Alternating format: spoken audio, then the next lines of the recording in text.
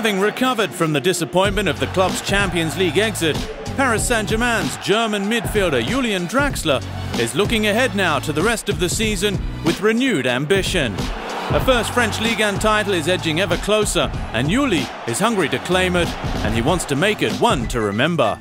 It was difficult to get back to, to the business, to the Ligue 1, because um, we had uh, yeah, really big goals this season in the Champions League, and uh, of course we played a, great team, Real Madrid. Uh, they are the current champion and a world-class team, of course. But what um, what was so disappointing is that we didn't perform like we can.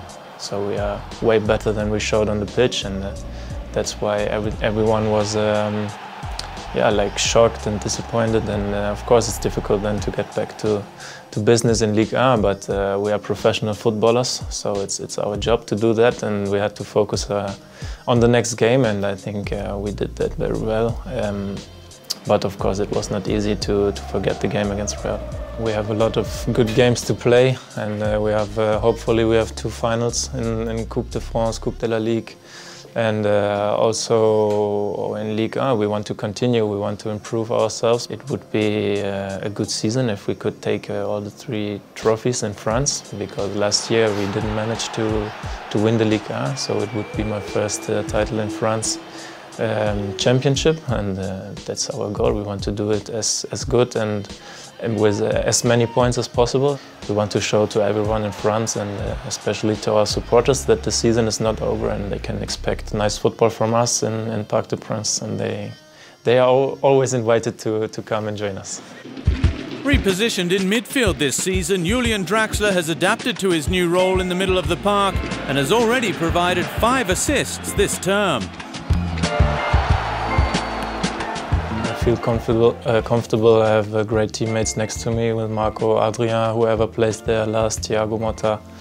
So um, it was not too difficult to to to learn that position. I mean, um, we're all great footballers and we know what we do on the pitch. What I like in the, in the new position is that you you have a lot of touches on the ball. You touch it like if you play with Marco or Thiago Motta, you can play the triangle and uh, and uh, you touch the ball maybe 80 to 100 times a match. So that's a lot more than than uh, when you play as a striker. That's what I like.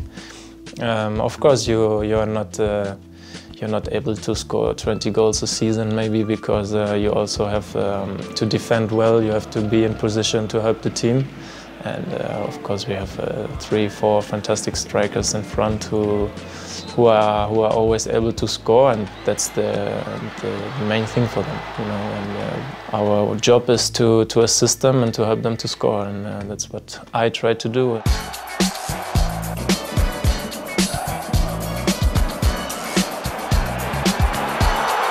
Kylian is uh, very fast, so sometimes it's a good idea to just uh, bring the ball in in his way. And uh, yeah, I think uh, it was also a nice ball from me, but uh, Kylian's uh, quickness is incredible, so that's why uh, we can find him in, in, little spaces like this, and uh, he, he scored an important goal.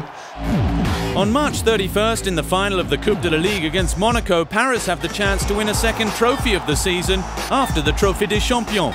The Coupe de la Ligue brings back good memories for the German. I remember everything. It was a nice atmosphere and uh, we played Monaco. They were really, really strong last year, so uh, it was a big, big match. And um, it was important for us to beat them because they were first in the league and they played a wonderful season, but uh, we showed in that match that we are yeah, at least as strong as them. Um, and even for me, it was a special game because I could score one goal and give one assist to Angel. And uh, yeah, in the end, it was a perfect day.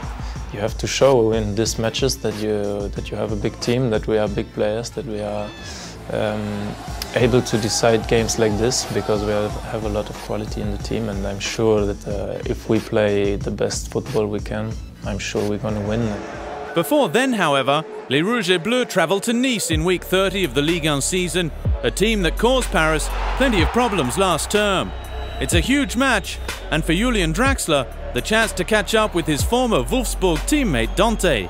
He's a really nice guy. I really like him. Um, he helped me a lot in, in some difficult days in Wolfsburg when I was upset or sad, and he was always there for me. Um, and for me, he's a fantastic guy. Still, a, still a very good player. I mean, he won the Champions League with Bayern Munich. He has a lot of experience, and uh, I think uh, Nice can be can be proud to have a player like him, and they have a good team. Uh, last year we had some difficulties there. I think we lost it 3-1. Uh, we lost the, the, championship, if you if you remember, and uh, so that's why um, it's not like a revenge, but uh, we want to show that we are able to do it better this time.